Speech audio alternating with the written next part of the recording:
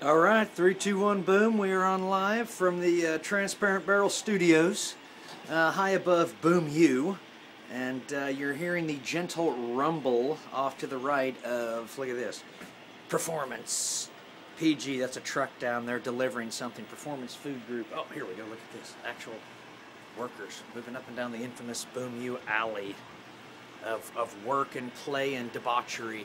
Anyway, here at uh, Boom U. I think this is dispatch either 29, it might be 30. Uh, we're going to be live from the uh, studios of the Transparent Barrel. And this is Energy Boom 101, and I think we're going to go with dispatch 30. Now, the last dispatch we talked about um, Devon Energy uh, making the six billion, by the way, that's a B, six billion dollar acquisition of. Uh, we're going to move our way in, by the way, so we can get to the maps and get to everything that's going on. It's the patented back camera pedal. Uh, it's been uh, worked on for 75 years. Now uh, the camera itself is being dropped into the Hunter, one of the most researched devices uh, ever made. And we're going to try and get a pretty good picture if we can. It's going to be tough. That'll do it right there as far as...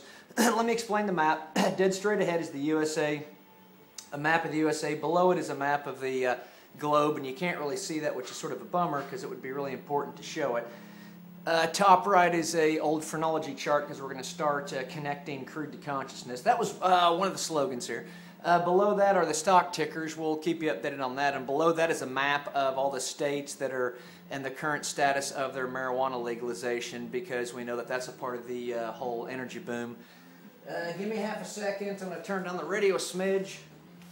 And if Boston comes on, you know what you'll have to do. Anyway, okay, so here we are. Now you guys can see this map pretty easy, the United States map. Uh, we talked about Devon Energy and their lovely little play um, for Geo Southern Energy. Now Geo Southern Energy has, I can't remember how many acres they're buying, maybe 84,000, but it's in the Eagle Ford, which is a brand spanking new play. Oh, by the way, we're going to go over the Permian Basin. But anyways, the update on the Devon play, they got 84,000 acres, I think it was, in the Eagle Ford, so it's going to be primarily all crude. Um, and Devon's going to use their uh, know-how, their expertise to unlock that. And then that will contribute to Devon's uh, revenue generation, which comes primarily from, so far, uh, the Permian Basin, where I believe they've got the Cline shale activity, the uh, Mississippi Lime in Oklahoma, the Woodford Shale beneath that. Uh, now they're in the Eagle Ford. Uh, I think they have, I think Devon may have land in the Niobrara. I know they have Canadian sands, and they used to have Tuscaloosa Marine.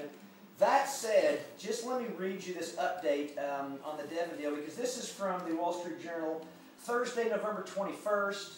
And this is Devon deal, that's the Geo Southern. Devon deal marks first step from gas to oil. We probably want to emphasize that. The Wall Street Journal's thinking that this is the first step for Devon from gas to oil, which is probably the second or the third step because Mississippi Lime is an oil play and they announced that. Anyway, we're not taking issue with Rupert Murdoch here. Anyway, uh, Devon Energy marks step, first step from gas to oil. That should let you know that this basic uh, turnaround for Devon is just starting. Turnaround being shift. Shouldn't be turnaround, shift from gas to oil. And uh, my call right now is that Devon's going to be a great performing stock for 2014. Uh, by the way, we, we locked them in at 60 bucks and 48 cents a share, and they're far past that now, and they'll go up and down. But um, we'll check them. We'll check them periodically and see where they are. But I bet they can really put the hurt on 2014, uh, and they'll start getting this oil production. Will start coming in, and then the quarterly oil production uh, will attract the Wall Street types, and um, then the shares should move upward. But then again, GMX, I thought the same thing was going to happen. That's another story. Let's read this Devon deal. And I prompted, I talked with President Bourne, and he's going to set the bells of Boom U to let us know, and we've only got a couple minutes left. But, while we've got time, Devon deal marks uh, step from gas to oil. Devon Energy said its $6 billion purchase of a big stake in Texas Eagle Ford Shale is only the first step in a move from its natural gas roots to become a fast-growing oil company. I bet that's an understatement. Uh, by the way, this is by Tom Fowler, this article. The purchase of Geo Southern Energy Corp's existing wells in 82,000 acres for future drilling will increase Devon's overall output 9% next year and add 20% earnings per share, Devon said Wednesday. So their production is going to increase 9% from this uh, acquisition. And then, I, not only that, but I have a funny feeling Devon will have uh, plenty of uh, new places to drill on these 82,000 acres. And dare I say it, they also may have the technology to recover more than GeoSouthern recovered from their initial wells. So I bet Devon does really well here. And we, will do our best to try and dispatch a reporter to cover just the Eagle Ford, but that's going to be impossible. The Oklahoma City Company will sell what it considers to be its non-core businesses throughout the U.S. and Canada, including 30% of its natural gas output. So it's just selling Ford. It's got a big old chunk of natural gas output. It's selling 30% of it Ford and forward contracts. Um, it's non-core businesses, probably like Tuscaloosa Marine. It, it, I don't know why it considers that non-core, but that's up to Devon. There may be some other stuff. And by the way, side note here before I finish this article, Devon doesn't need to sell a whole lot because I think they still have about three or four billion dollars in cash offshore waiting to come back, which I'm sure is going to be part of this acquisition. We continue. Uh, investors will, this is a quote, uh, find that the new Devon is a significant North American oil producer capable of delivering high rates of growth in high margin oil production while generating free cash flow. Chief Executive John Richels, i hope I pronounced that correctly. I'm sure it's, I'm sure I missed it, but said in the conference call. I'm going to go ahead and say this again because this is pretty much what I think probably describes Devon. And uh, Larry Nichols has been running the company this way forever, and his dad ran it that way before he got it. Once again, investors will find that the new Devon, and I wouldn't call it the new Devon, I'd call it the, the, the continuing, the continuing Devon, but who am I? Uh, the new Devon is a significant North American oil producer capable of delivering high rates of growth in high margin oil production while generating free cash flow. Pretty important concepts. They all come together. That's the Devon hat trick. Remember, kids, ticker symbol DVN. Now let's continue this article. Devon's shares fell 2 cents to close at 62.75 Wednesday. That was Wednesday from a few days ago. By the way, happy Thanksgiving. Uh, it was yesterday. the stock jumped 5% Tuesday after the Wall Street Journal reported that the deal was in the works. Wow. we would have to infer that the reason the stock jumped 5% was because they announced that the deal was in the works. No one knows for sure, but that's basically what's going on here. Uh, analysts said the deal price seemed high. Huh. International Strategy and Investment Group LLC calculated the cost of the undrilled sites at about $34,000 an acre, while previous high water marks for Eagle Ford acreage were closer to 25,000. Big deal. Um, I can assure you Devon didn't overpay. And let's look at it this way. The undrilled sites, they paid $34,000 per acre. Wait a couple years and find out what those undrilled sites are worth now per acre. I guarantee they're worth a hell of a lot more than 34,000. Well, I shouldn't say that because I don't know. Anyway, but Devon said it knows the location and the size of the oil and the gas reservoirs at the undeveloped sites, and it's confident of their value. I wouldn't doubt him on that one. The company said it planned to drill to 230 wells a year at the sites over the next five years. This is huge news because we're going to learn what Devon's going to do in the Mississippi Lime one fourth of their Mississippi lime acreage grows at the Woodford Shale. Shit, I can't remember, but it's one of them. And they're committing, I think it's the Woodford Shale, by golly. I think it is. And I think they're committing to drill 300 wells per year for the next three years, and that's the Woodford Shale in Oklahoma. That's Devon. Now Devon's telling me in addition to that, they're going to drill 230 wells a year for the next five years in the Eagle Ford. So you can see where their investment um, time frames are going. Woodford Shale, three years out, 300 per year. Eagle Ford, five years out, 230 per year. Um, and that's just two of their plays. Uh, and I'd love to see Devon uncorking it, because uh, I really do think they're going to end up being just a stellar, stellar energy company um, in every in every fashion, let alone as an investment. That's one way to look at it. But there's other returns on your money aside from financial.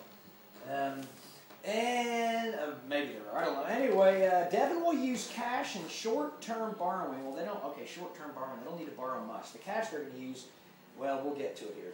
Uh, to finance the Eagle Ford purchase from closely held Geo Southern, which is based in the woodlands in Texas. By the way, the most tragically hip uh, energy uh, area in the United States, the woodlands. We'll show you ads from the Wall Street Journal that are wicked. Um, Devon this year moved $2 billion in cash it held overseas back to the U.S and plans to bring back another $2 billion by year end. Ah, good. So we know they had $4 billion in cash. They brought back two earlier. They're bringing back two more by the year end. That'll probably go toward this purchase. Uh, the GeoSouthern purchase is the second move in the past month by Devon that will significantly alter its future, said Robert Christensen, an analyst with Canaccord Ingenuity. I think we were talking about this a month ago. Uh, the company late last month unveiled a plan to combine its pipelines. We told you about that. Most companies do a spin-off of their pipelines. Devon did a combination with Crosstex Energy. The market loved it. Um, probably a testament to how uh, intelligent Devon is. Uh, the company late last month unveiled a plan to combine its pipelines, processing plants. By the way, do you know that Devon has some, they own some fractionators somewhere in Louisiana, I think. Pretty interesting, pretty, pretty damn amazing company. Uh, uh, processing plants, rail terminals, they have rail terminals and other infrastructure uh, with Crosstex Energy uh, to form a publicly traded master limited partnership. That's they bundle up all of their assets that are considered midstream and they put that out there and the market values that and they, they value it higher than if they were if it was sitting in Devon's stomach because they understand it better. So you uh, you take your house and you and you take some of the furniture outside and you show the folks and they see that it has more value than when it was sitting inside. That's sort of what goes on here, sort of. But I really don't know. And you should never listen to what I have to say. Although there's an interesting story about the Herbalife, which is a great thing we have to get to. If we have time, I haven't heard the bells of Boom U. I've got to do a time check just to see where we are. We've got plenty of time. We're only at 11 minutes. Watch this. Okay, so we can finish on Devon. Um, Devon Chief Chief Financial Officer Jeff Ag- Jeff or Augusta. I apologize, Jeff Augusta or Augusta. By the way, I feel good about at least Jeff.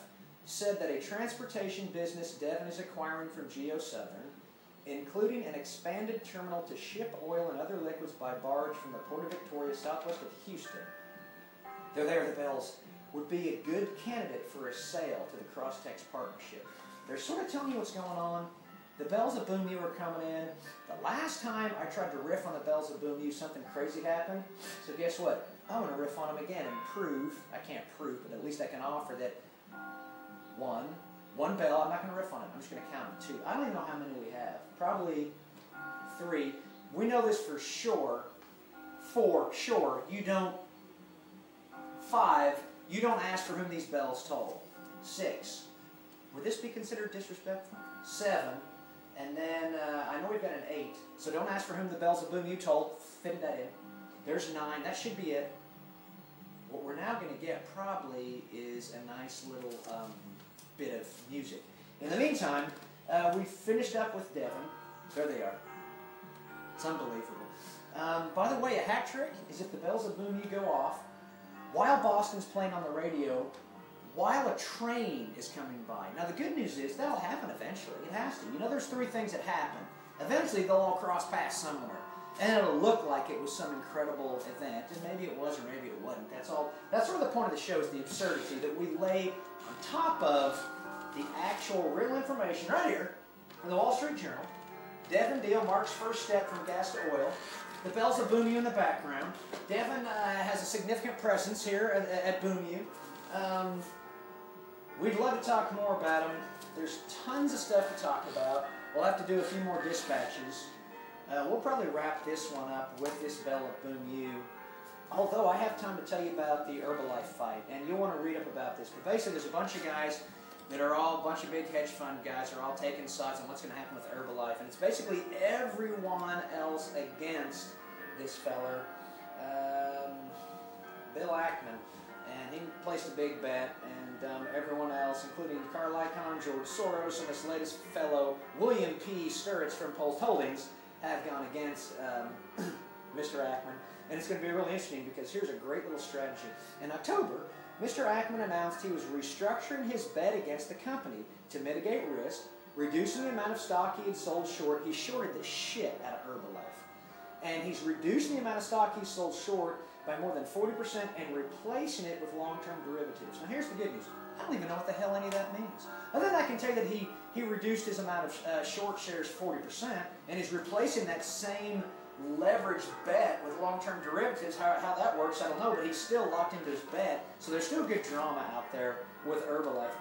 And I got to tell you, for some funny reason, I sort of hope he wins the damn thing. Anyway, we're going to shut this down. This was dispatch 29 or 30. We'll call it 30. Big follow-up story on the previous one on Devon. They're looking good and only getting better. It's the $6 billion shift into second gear. And um, the next dispatch, uh, there's, oh, we'll talk about the Permian Oil Basin. Three, two, one, boom. See you.